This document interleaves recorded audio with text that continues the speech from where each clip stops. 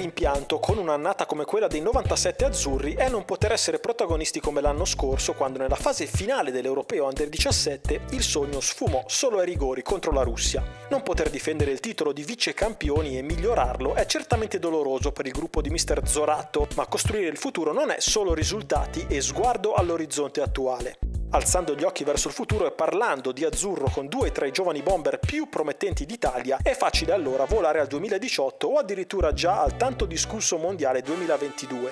Nella settimana che porta al derby di Milano dei Grandi, uniamo a tinte azzurre Federico Bonazzoli e Luca Vido, già saltati in primavera da sottoetà e con le idee molto chiare.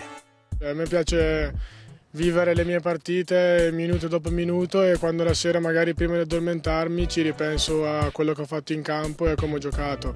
Ecco, non, eh, diciamo che rivaluto la mia prestazione eh, analizzando ogni gesto singolarmente e sperando magari nella prestazione successiva di migliorare ciò che ho sbagliato in quella precedente.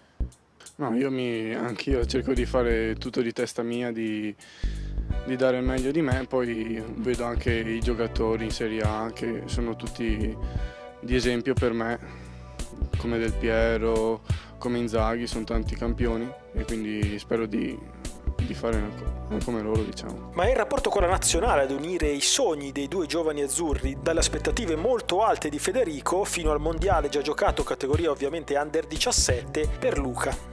La tappa più importante è il mondiale. Come è successo alla nostra nazione nel 2006, è riuscita addirittura a vincerlo, quindi penso che sia l'elite per colmare una grandissima carriera di un grandissimo calciatore che spero di diventare. È stata un'esperienza eccezionale e ho fatto quei risultati grazie sia come, grazie a me che grazie a tutta la squadra perché mi hanno aiutato il mister, i miei compagni, tutto lo staff a dare il meglio di me e a contribuire a quello che abbiamo fatto. Fa solo che piacere giocare sia per il club ma soprattutto anche quando vengo chiamato in nazionale. È un'emozione che anche diciamo, se non è la prima volta che ci passo, a ogni chiamata eh, il cuore batte forte quindi è impossibile dire di no. Diciamo sono cose che ti resteranno segnate per tutta la vita e sono esperienze fantastiche.